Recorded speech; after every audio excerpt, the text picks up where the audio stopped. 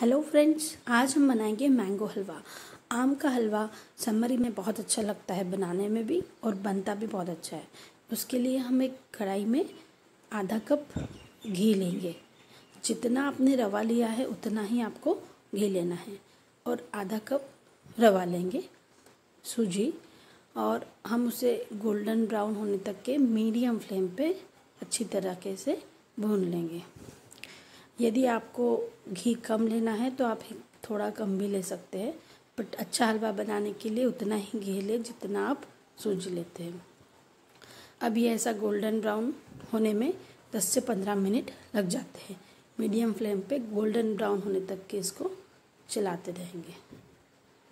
अब हम जब ये गोल्डन ब्राउन हो जाएगा, तब हम उसमें आधा कप शक्कर डालेंगे। सूजी जितनी ली है, उतनी ही हम शक्कर लेंगे। हलवा बनाते समय घी, शक्कर और सूजी की मात्रा एक ही होनी चाहिए। अब हम उसमें एक कप भरकर मैंगो का पल्प डालेंगे। जितना सूजी लेते हैं, उससे चार गुना पानी लेते हैं। तो उसी हिसाब से मैंने एक कप उसमें मैंगो पल्प और एक कप मैंने उसमें बॉइल्ड गरम गरम दूध डाल दिया।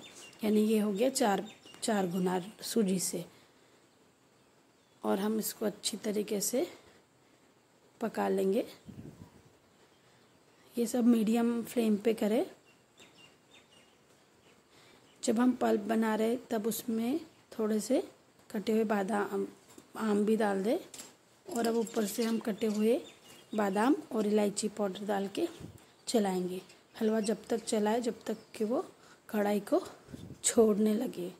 अब हम उसको सर्व करेंगे। गर्मा गर्म आम का हलवा। उसके ऊपर हम बादाम डाल के इसको सर्व करेंगे। बहुत टेस्टी लगता है गर्मा गर्म खाने में। यम्मी डिलीशियस रेसिपी है समर में। और रेगुलर हलवा से कुछ अलग परफेक्ट उसका कलर आया है। हम इसको सर्व करेंगे। गर्मा गर्म खाने में बहुत अच्छा लगता है।